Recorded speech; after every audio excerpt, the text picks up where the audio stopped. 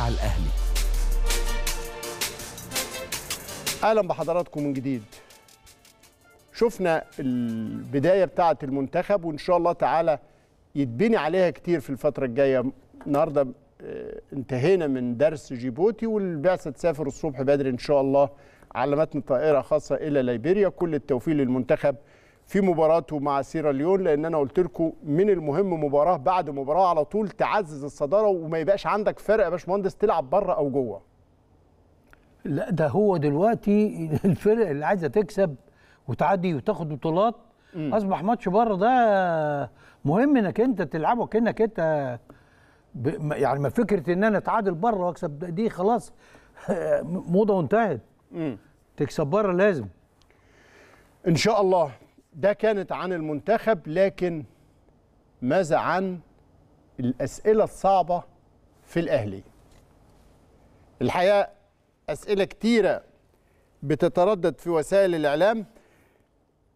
الزميل محمد المحمودي حب يطرح هذه الأسئلة ويجاوب على خمسة منها. وصفها بأنها الأسئلة الصعبة. هل المهندس عدلي هيتفق مع الإجابة؟ ولا هيشوفها صعبة ولا لا؟ نشوف وراكش محمد المحمود صعبة الأول. طول النهار نشوف محمد المحمود الأول.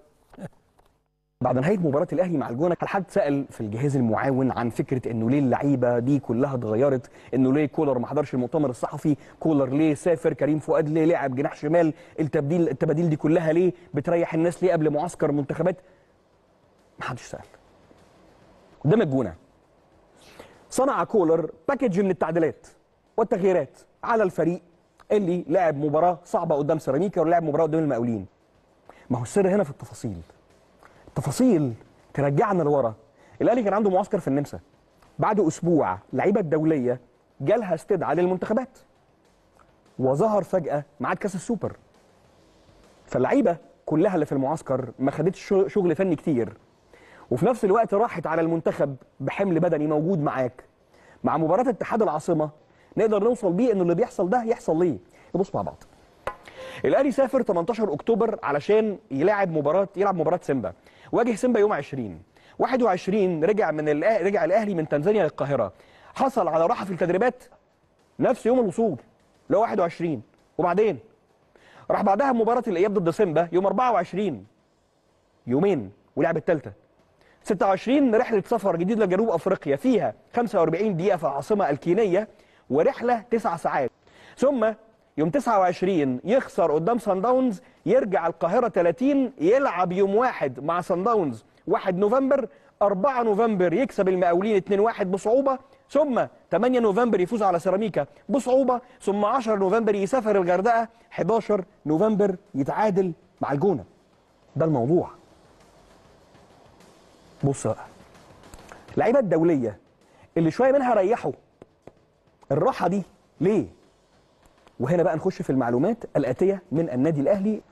المعلومات بتقول إن اللعيبة الدولية دي ما ريحتش وإن اللي رايح ده مش هياخد وقت للراحة نهائيا وانه في بعض اللعيبة الموجودة بقى الحمل عليها صعب. رأى كولر أن مباراة الجونة هي أنسب وقت يقدر يعمل فيه كل هذه التبديلات وإنه يبدأ يدخل مجموعة جديدة من اللعيبة تاخد طابع الفريق اقتناعا منه إنه لو خسرت نقطتين دلوقتي يختلف تماما عن الخسارة في دوري أبطال أفريقيا أو في كأس العالم للأندية. واللعيبة دي لازم هتخش لأنه وأنا ماشي في الطريق التجربة اللي على مدار الشهر اللي فات أثبتت إن كل عوامل القوة من اللعيبة وقعت منك. لازم الكل كان يدخل دلوقتي. أخيرا كولر ما حضرش المؤتمر الصحفي وسافر على سويسرا. المعلومة اللي جات لي من النادي الأهلي إن كولر وكابتن خالد بيبو دخل للمؤتمر فقيل له ما فيش صحفيين موجودين هنا في المؤتمر فلم يتم عمل مؤتمر. مش كولر اللي ساب البتاع وراح يجري عشان يلحق الطيارة عشان يا جماعة الخير الراجل ده سويسري محترم. سويسريين في الرياضة معظمهم جمال وهاديين ومواجهين. فالراجل ده أبعد ما يكون عن هذه القصة.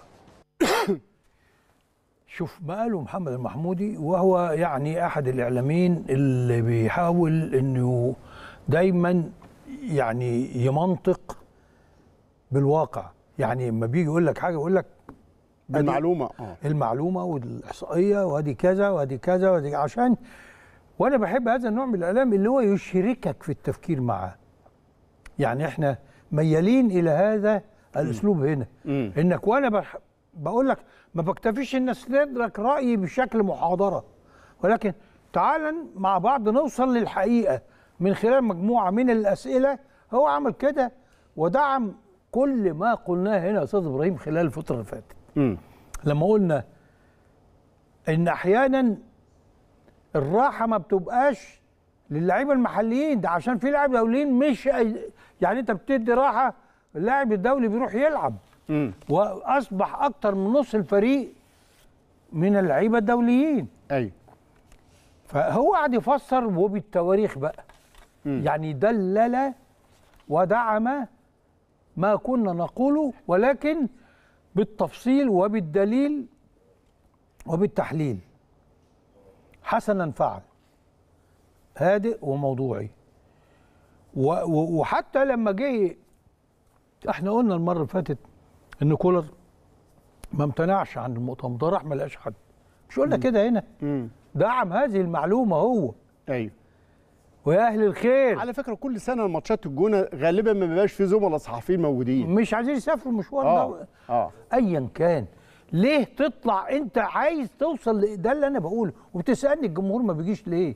مم. الناس ملت ملت من عملية التصيد واختراع ال- المواقف وافتعال المشاكل وتلقيح الكلام وأصبح يا راجل يا راجل ده في ناس لعيبة كبيرة يعني ليهم برامجهم. كان يقول لك اتعلموا من الأهلي مش عيب نتعلم. يجي يقول لك لا الزمالك هو اللي بيعلم الدنيا كلها. افرح بناديك زي ما انت عايز بس بلاش الكلام المتناقض ده. خد موقف ثابت بقى. مش تقول كلمتين هنا تراضي بيهم هنا وبعد شوية عايز تقول كلمتين هنا تراضي بيهم هنا. أين أنت وقناعاتك؟ طب الناس تروح معاك لفين؟ فين الموضوعية؟ مم. الناس تايهة. مش عارفه تستمتع بكرة القدم. من كتر ما إيه عمالين ناخدها يمين وشمال. فالمحمودي بيقدم هذا النموذج الإعلامي اللي يخليك تفكر معاه ويشاور بحيث إنك تصدقه. طب إحنا رجعنا ورجعنا بعد خدنا يوم راحة وما خدناش آه، آه، تدريب ولعبنا فتعادلنا. تعادلنا هنا 2 2 وتعادلنا 1 1 لما بنقول كده يقول لك انت اصلك انت بتطبل هو أنا دو عشان ابان ما اطبلش أكسر. لازم لازم ابقى عدواني. واخدك في سكة التشاؤم. وأقول حاجات ما هياش اللي أنا قناعاتي. يا سيدي أنت مش عايز تقتنع باللي أنا بقوله؟ وأنت تعتبر إن الرأي اللي أنا شايف إن هو موضوعي ده تطبيل؟ على فكرة طب ما أنا ما بقولكش أنت متحامل. آه. أنت حر. آه.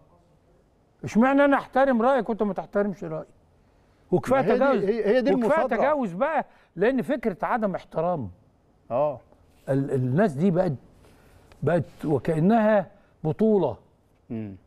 البعض يمارس هذه البطولة على حساب ناس لا ما يصحش مم. ما يصحش السنين دي كلها تهدر عشان شوية ناس عايزة تتطاول وبس عشان تبان إنها جدعة ومش فارقة معاها هي دي جدعنه مم. دي مش جدعنه. فأنت ال ال صدق ما تصدقوا واختلف زي ما أنت عايز لكن إحنا من هنفضل نقول الحقيقة وهنفضل ندافع عن النادي الأهلي من منظور الواقع والحقيقة لأن إحنا ما بنقول لك الناس ما عندهاش فرصة للراحة الناس لعبت بطولات قبل ما تكون مستعدة بدنيا وذهنيا ده أمر واقع.